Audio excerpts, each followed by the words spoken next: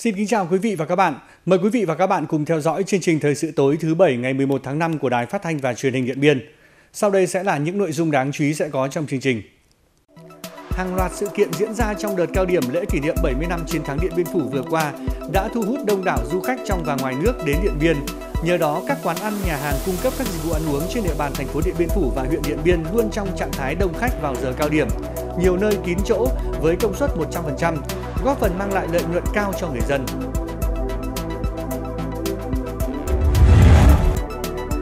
Thời gian qua, cùng với việc đảm bảo chất lượng thông tin, Cục Thống kê tỉnh Điện Biên đã tích cực ứng dụng công nghệ trong công tác thu thập, tổng hợp, phân tích và phổ biến thông tin thống kê, góp phần đáp ứng nhu cầu sử dụng thông tin trong thời kỳ hội nhập và hiện thực hóa mục tiêu chuyển đổi số của ngành.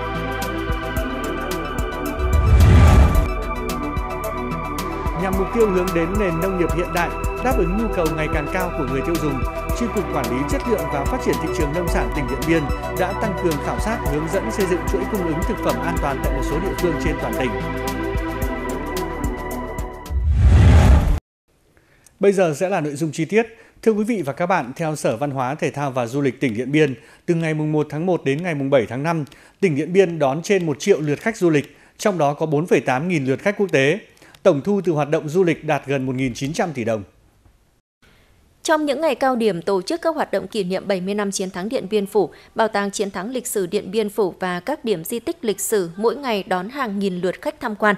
Ban quản lý di tích tỉnh Điện Biên và Bảo tàng chiến thắng lịch sử Điện Biên Phủ đã huy động toàn bộ lực lượng viên chức, người lao động và trưng tập thêm sinh viên các trường cao đẳng trên địa bàn làm công tác thuyết minh, hướng dẫn, phục vụ tại các điểm tham quan. Năm 2023, tỉnh Điện Biên lần đầu tiên đạt mốc đón 1 triệu lượt du khách. Năm 2024, với việc đăng cai năm du lịch quốc gia và là năm kỷ niệm 70 năm chiến thắng Điện Biên Phủ, tỉnh phấn đấu đón 1,3 triệu lượt khách du lịch với tổng doanh thu ước khoảng 2.200 tỷ đồng. Thưa quý vị và các bạn, hàng loạt sự kiện diễn ra trong đợt cao điểm lễ kỷ niệm 70 năm chiến thắng Điện Biên Phủ vừa qua đã thu hút đông đảo du khách trong và ngoài nước đến Điện Biên. Nhờ đó, các quán ăn, nhà hàng cung cấp các dịch vụ ăn uống trên địa bàn thành phố Điện Biên Phủ và huyện Điện Biên luôn trong trạng thái đông khách vào giờ cao điểm. Nhiều nơi kín chỗ với công suất 100%, góp phần mang lại lợi nhuận cao cho người dân. Doanh thu tăng gấp từ 3 đến 4 lần so với ngày thường. Luôn trong tình trạng kín chỗ vào giờ cao điểm, đó là những chia sẻ của hầu hết các quán ăn sáng trên địa bàn thành phố Điện Biên Phủ từ đầu tháng 4 đến nay, đặc biệt là trong thời điểm diễn ra lễ kỷ niệm 70 năm chiến thắng Điện Biên Phủ. Ông Đặng Hồng Phi, chủ quán phở gà phố cổ, tổ dân phố 1, phường Tân Thanh cho biết, chưa bao giờ lượng khách đến Điện Biên đông như vậy. Nhân viên tại cửa hàng làm việc liên tục có thời điểm quá tải. Thời điểm này dù lượng khách đã vãn hơn nhưng vẫn đông do vẫn có nhiều đoàn khách đến Điện Biên. Trong cái dịp uh, kỷ niệm 70 năm chiến thắng Điện Phủ của tỉnh Điện Biên năm nay thì lượng khách của um, thập phương rồi khách uh, cựu chiến binh lên Điện Biên là rất là đông. Thì quán chúng tôi cũng đón một lượng khách là rất là lớn và cái à, lợi nhuận thì nó cũng hơn của các ngày bình thường. Thì sau cái đợt à, kỷ niệm này thì quán chúng tôi cũng trở lại bình thường nhưng mà vẫn là đông vì các đoàn của họ, đoàn cựu chiến binh rồi họ vẫn nên nên không được đông như trong kịp lễ kỷ niệm 70 năm nhưng mà vẫn là nên, ngày nên đón được hai, ba đoàn lễ kỷ niệm 70 năm chiến thắng này thì cái à, nó đã kích cầu cho toàn thể của cái tỉnh cái, các hộ kinh doanh của tỉnh Điện Biên này chứ không riêng gì quán của tôi. Không chỉ các quán ăn sáng, hầu hết các quán ăn, nhà hàng trên địa bàn thành phố Điện Biên Phủ cũng luôn trong tình trạng kín lịch đặt. Trong thời điểm diễn ra lễ kỷ niệm 70 năm chiến thắng Điện Biên Phủ, lượng khách đông đã giúp cho doanh thu của các nhà hàng, quán ăn tăng cao.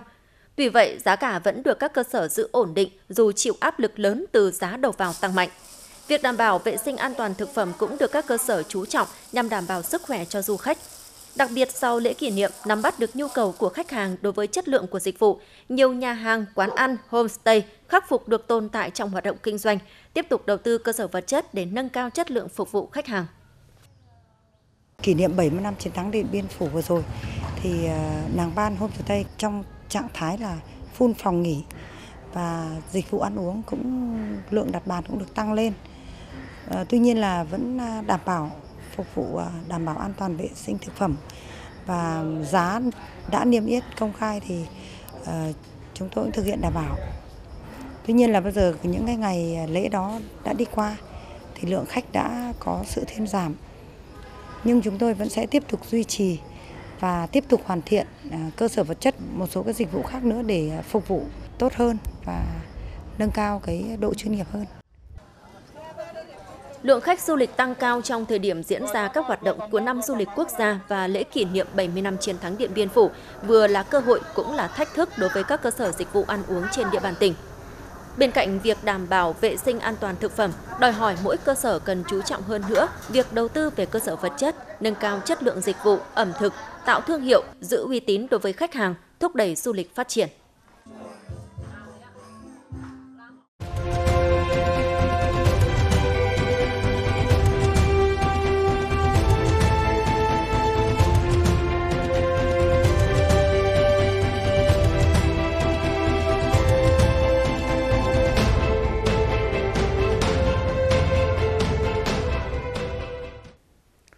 Thưa quý vị và các bạn, thời gian qua cùng với việc đảm bảo chất lượng thông tin, Cục Thống kê tỉnh Điện Biên đã tích cực ứng dụng công nghệ trong công tác thu thập, tổng hợp, phân tích và phổ biến thông tin thống kê, góp phần đáp ứng nhu cầu sử dụng thông tin trong thời kỳ hội nhập và hiện thực hóa mục tiêu chuyển đổi số của ngành.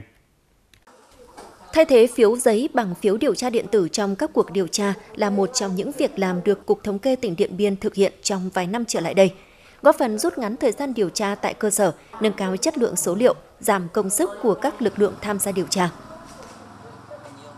Trên hình thức kiểm tra thì mình à, sử dụng copy hay là điện thoại thông minh để mà làm trực tiếp phỏng vấn hộ gia đình. À, cái thuận lợi là mình làm trên hệ thống điện tử thì là các câu hỏi là nó dễ dàng cập nhật hơn và thứ hơn. Còn là trên giấy tờ thì à, rất là nhiều và câu hỏi rất là dài. Thực hiện nhiệm vụ chuyển đổi số theo kế hoạch của Bộ Kế hoạch và Đầu tư giai đoạn 2020-2025, Cục Thống kê tỉnh Điện Biên đã triển khai thực hiện đồng bộ nhiều giải pháp, trong đó vận hành hiệu quả hệ thống máy chủ sử dụng mạng LAN trong toàn ngành, trang bị đầy đủ trang thiết bị phục vụ công tác thu thập tổng hợp, phân tích báo cáo, đồng thời ứng dụng công nghệ thông tin vào tất cả các công đoạn trong quá trình sản xuất thông tin thống kê cũng như trong công tác chỉ đạo điều hành anh chị em đơn vị thống kê thì đã sẽ không phải trực tiếp liên hệ đối với các đơn vị để thúc giục. Và thường thường là trước là sử dụng theo cái ờ, chế độ mà gửi bằng văn bản ấy, thì là các đơn vị thứ nhất lại mất thời gian để gửi văn bản từ các ờ,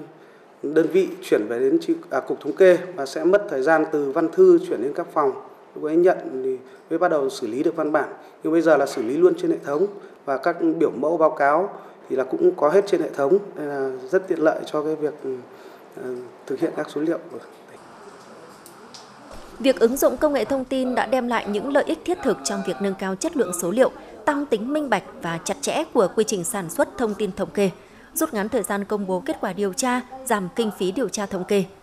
Trước yêu cầu thực tế về chuyển đổi số trong hệ thống thống kê tại địa phương, để dữ liệu thống kê trở thành nguồn lực phát triển kinh tế xã hội, Cục Thống kê tỉnh Điện Biên đã xác định một số giải pháp trọng tâm trên hành trình chuyển đổi số tiếp theo.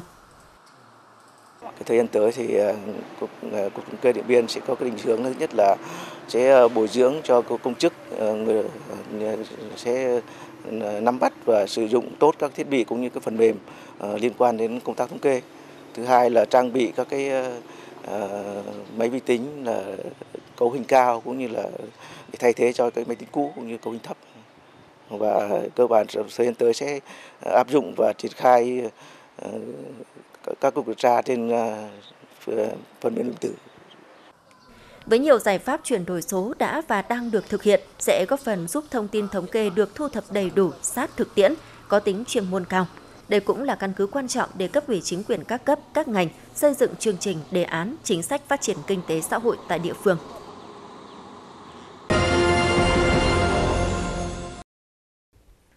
Thưa quý vị và các bạn, nhằm mục tiêu hướng đến nền nông nghiệp hiện đại, đáp ứng nhu cầu ngày càng cao của người tiêu dùng, thời gian qua, Tri Cục Quản lý Chất lượng và Phát triển Thị trường Nông sản tỉnh Điện Biên đã tăng cường khảo sát, hướng dẫn xây dựng chuỗi cung ứng thực phẩm an toàn tại một số địa phương trên toàn tỉnh.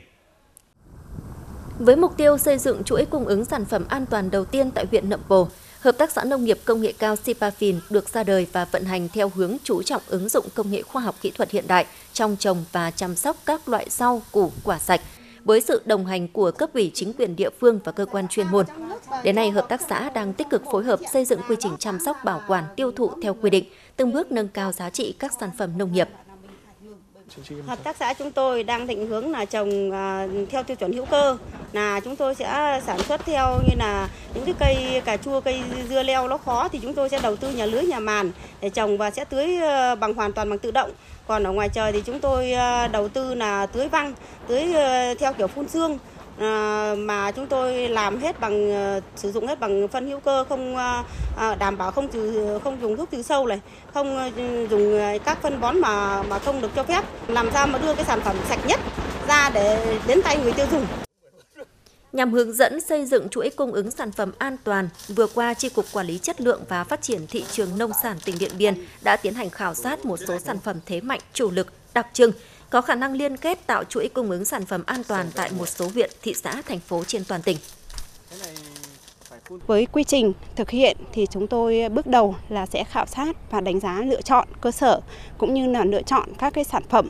à, chủ lực các cái sản phẩm và à, có cái cái sản lượng tiêu thụ lớn trên địa bàn toàn tỉnh để từ đó là xây dựng các cái chuỗi cung ứng sản phẩm an toàn à, À, trong địa bàn tỉnh trong năm 2024. À, sau đó là chúng tôi sẽ tiến hành là lấy các cái mẫu đất, mẫu nước và các cái mẫu thành phẩm để gửi kiểm nghiệm đánh giá cái chất lượng cũng như cái tính an toàn của sản phẩm.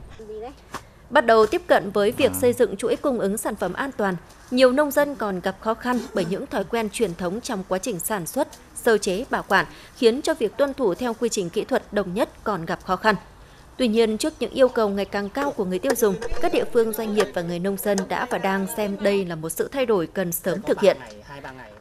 À, để thay đổi cái thói quen à, của bà con nông dân ấy thì ờ,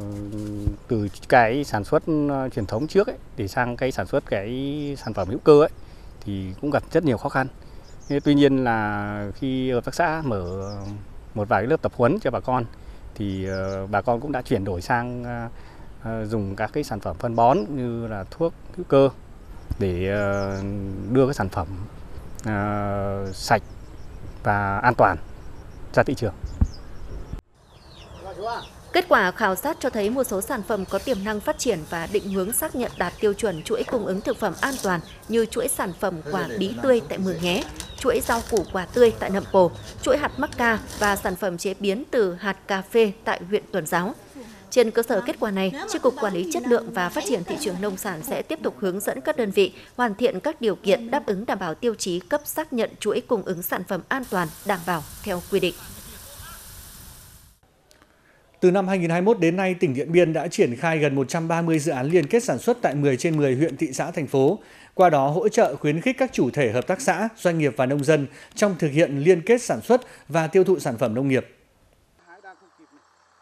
Các chuỗi liên kết đã thu hút được nhiều doanh nghiệp hợp tác xã, trang trại, nông hộ tham gia, mang lại hiệu quả kinh tế cao hơn nhiều so với sản xuất truyền thống. Đơn cử như trồng rau an toàn giảm chi phí sản xuất 10 đến 15%, sản lượng tăng từ 15 đến 25%, lợi nhuận tăng từ 30 đến 35 triệu đồng một hecta. Liên kết sản xuất lúa theo cánh đồng một giống, áp dụng cơ giới hóa đã giảm chi phí sản xuất, lợi nhuận tăng từ 15 đến 20 triệu đồng một hecta.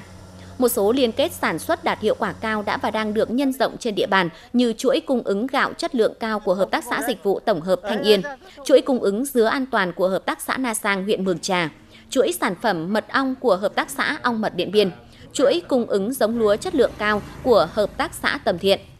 Để tiếp tục phát triển các chuỗi liên kết, thời gian tới ngành chức năng các địa phương trên địa bàn tỉnh đang tổ chức kiểm tra đánh giá kỹ các điều kiện của dự án liên kết trước khi thực hiện, đồng thời ra soát bổ sung điều kiện đảm bảo tính chặt chẽ ràng buộc giữa các bên liên quan đối với các dự án liên kết gắn với tiêu thụ sản phẩm để các dự án được thực hiện thông suốt hiệu quả. Tỉnh Điện Biên đã và đang cơ cấu lại và tập trung phát triển cây lúa nước, ngô, chè, cà phê, cao su, mắc ca, cây ăn quả, cây rau màu và các sản phẩm lĩnh vực chăn nuôi thủy sản đã được xác định là các sản phẩm chủ lực địa phương. Đến nay, trên địa bàn tỉnh đã hình thành một số vùng sản xuất hàng hóa tập trung như lúa chất lượng cao khoảng 8.000 ha tại các huyện Điện Biên, Tuần Giáo, Mường Ảng, thành phố Điện Biên Phủ, ngô 9.000 ha tại Tuần Giáo, Tùa Chùa, Điện Biên, Điện Biên Đông, 230 ha rau chuyên canh tại huyện Điện Biên, 3.229 ha mắc ca tại các huyện Tuần Giáo, Điện Biên, Mường Nhé, thành phố Điện Biên Phủ, trên 600 ha chè tại Mường Ảng, Tùa Chùa, 3.300 ha cà phê tại Mường Ảng và Tuần Giáo, cây ăn quả khoảng 3.000 ha tại các huyện Tuần Giáo, Mường Ảng, Điện Biên. Trên cơ sở các vùng nguyên liệu tập trung đã hình thành, tỉnh Điện Biên tập trung xây dựng thực hiện các dự án liên kết, hình thành các chuỗi liên kết từ sản xuất đến tiêu thụ sản phẩm nông nghiệp.